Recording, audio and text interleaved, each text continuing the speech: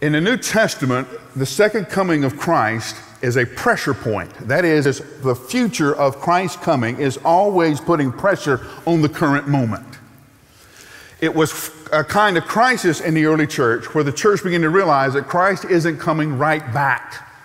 That this is going to be a longer sprint, uh, longer than a sprint. It's going to be a marathon, and we have to adjust on how we do things. How do we make sure that we pass on the core of the faith from one generation to the next? How do we make sure that those who were not eyewitnesses of the resurrection of Jesus still have the confidence of his resurrection? How can we be sure of that? And so we have the struggle of the early church going from first generation to second generation on to third generation. But the second coming isn't the only way that Jesus comes.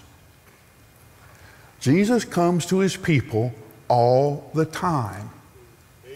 Jesus comes to you all the time, many times during the day, uh, many times during your prayer life. He comes to you. Sometimes we're so thick in, in our spiritual life, so thick in our souls that we don't recognize Him. Sometimes we're so blind uh, that we don't see Him there, but He comes all the time.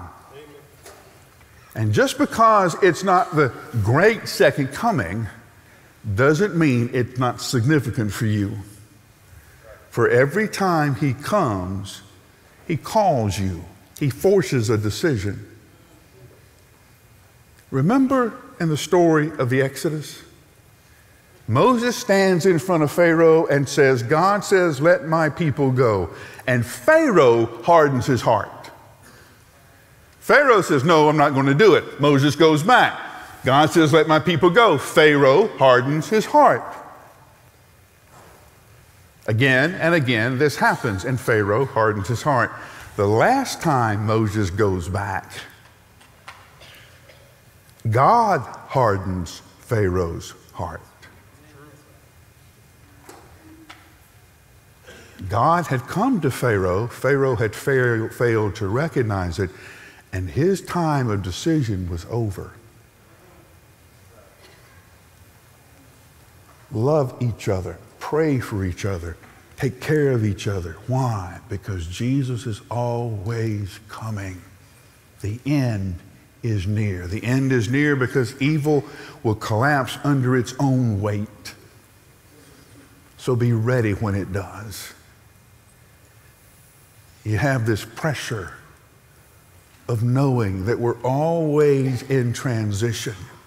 Not only are you to not give up, but you are to thrive. You are to increase as the body. You are to reach other people with the good news of Jesus Christ. You are to make more disciples. You are to win more people to, to the, the, the following of Christ. You are to make more Christians.